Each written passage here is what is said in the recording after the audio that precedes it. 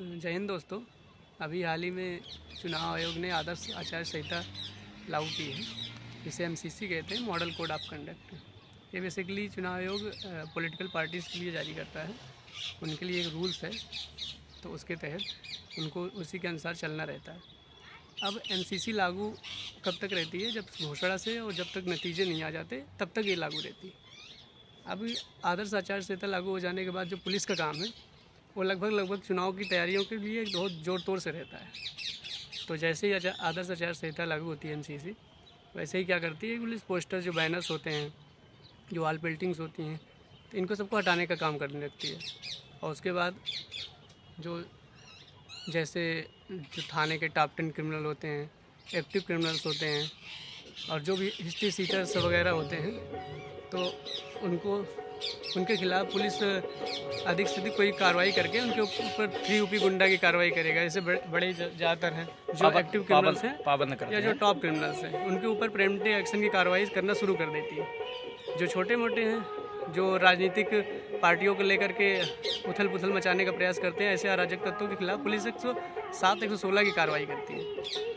इससे अधिकतम ये रहता है, गाँव में कि ये इस पार्टी के हैं, इस पार्टी के हैं तो आपस में मतभेद करते रहते हैं, कुछ बहस करते रहते हैं, उनके खिलाफ पुलिस एक साथ सोलह, एक सी की कार्रवाई होती है, वो करती है।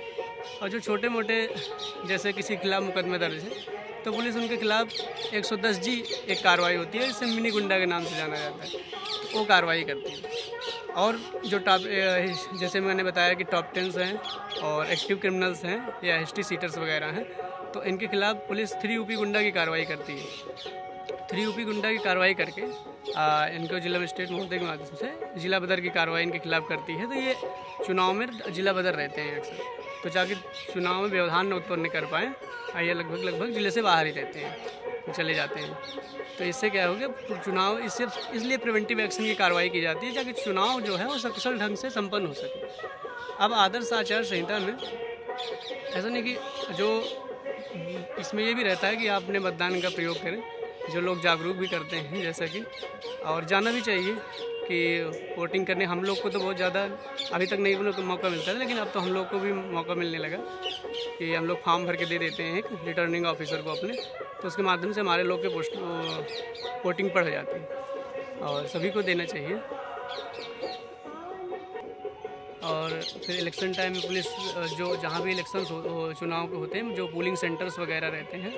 पोलिंग सेंटर्स भी पुलिस अपने जैसे थाना क्षेत्र से मेरा थाना है तो समथर है वो झांसी का। तो उसमें हम लोग क्या करते हैं कैटेगरीज बांट लेते हैं। कैटेगरीज पहले बैठी होती हैं जैसे कहीं क्रिटिकल है पोलिंग सेंटर कहीं वर्नेबल्स है और आ, कहीं संवेदनशील है असंवेदनशील है।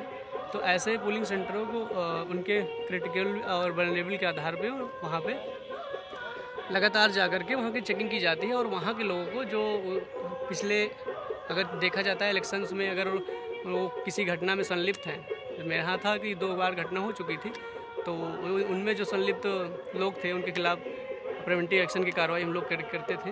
और ज़्यादा से ज़्यादा लोग जो देखते थे कि अगर किसी पोलिंग पार्टी को लेकर के अगर पॉलिटिकल पार्टी को लेकर के उनमें मतभेद है तो उनके खिलाफ प्रिवेंटिव एक्शन की कार्रवाई लगभग लोग करते थे।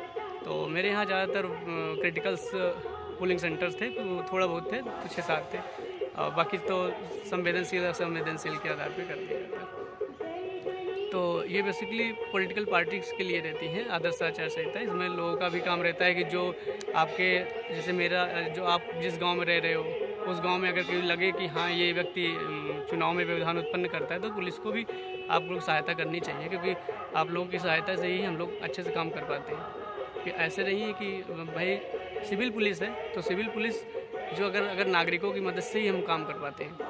हम्म, और इसमें ये भी रहता है कि आप लोग की मदद से जो भी हो पाता है लोग करते हैं। बाकी तो हम लोग खुद ही प्रयास करते हैं लगातार लगे ही रहते हैं।